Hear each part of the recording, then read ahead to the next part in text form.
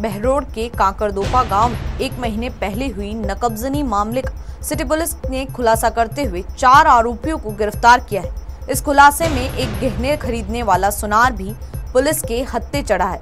Behror DSP Krishna Kumar ने बताया परिवादी मुकेश देवी निवासी कांकर दोपा ने मामला दर्ज कराया कि 28 अप्रैल की रात को अज्ञात चोर घर में रखे गहने नकदी ले गए। वारदात के दौरान मेरा पूरा परिवार घर में सोया हुआ था जिस पर टीम गठित कर जाँच शुरू कर दी। टीम वर्क के बाद रविवार को पुलिस ने चार आरोपियों को गिरफ़्तार किया गया है। अट्ठाईस अप्रैल को परिवादी है इसमें अनिल की वाइफ है मुकेश। अनिल के वाइफ है मुकेश। उन्होंने एक रिपोर्ट दर्ज करवाई थी कि हमारे घर से अज्ञात चोरों के द्वारा रात को 12 से सुबह चार बजे के बीच में चोरी की गई जिसमें उनकी रिपोर्ट के अनुसार लगभग 10 तोला सोना चांदी और एक लाख रुपए कैश चोरी की उन्होंने रिपोर्ट दर्ज करवाई थी। इस मामले को गंभीरता से लेते हुए कोतवाली पुलिस के द्वारा विशेष एसपी मैडम के निर्देशानुसार विशेष टीमों का गठन करते हुए अ, हमारे द्वारा जाँच की गई।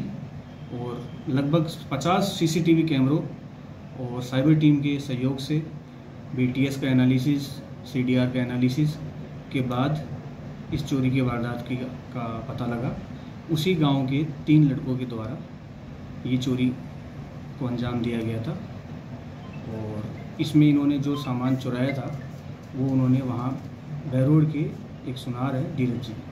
उनको उन्होंने सामान बेचा था तो कुछ जो उन्होंने सामान बेच के जो पैसा उन्होंने उनको मिला था, उससे उन्होंने एक मोबाइल परचेज किया था। वो मोबाइल भी हमने जब्त कर लिया है और इन तीनों मुलजिमों से हमने जो चुराया हुआ सामान था, जिसमें लगभग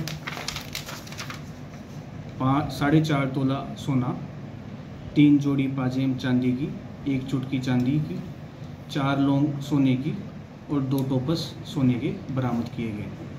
सर, इन्होंने वारदात कैसे अंजाम दिया? क्या पहले रेकी की थी या कोई और कुछ? सामने आया। जैसे कि ये जो चोरी है ये जो मुलजिम है ये काकरदोपा गाँव के ही हैं। तो इनको पता था कि इस गाँव में छः दिन के बाद जो परिवादी उसके घर में शादी है तो परिवादी ने शादी के लिए जो भी आवश्यक जेवरात है वो परचेज कर रखे हैं। तो इन्होंने पहले रेकी करी थी उसके बाद इन्होंने रात को जब सब लोग सो गए उसके बाद प्लान करके इस चोरी की वारदात को अंजाम दिया। सर ये सुनार के कांटेक्ट में कैसे आए? क्या पुरानी जान पहचान ये अभी इनसे हम पूछताछ कर रहे हैं। सर आपने जिस तरह पेश किया है कोर्ट में तो क्या खुलासे हुए? कहाँ कहाँ उन्होंने वारदात को अंजाम दिया? क्योंकि हाईवे पर और भी कई वारदात हुई थी। जी अभी हम इनसे अभी हम हमारी इनसे अनुसंधान जारी है और हम उम्मीद करते हैं कि इससे और भी वारदातों का खुलासा होने की संभावनाएँ रहेगी।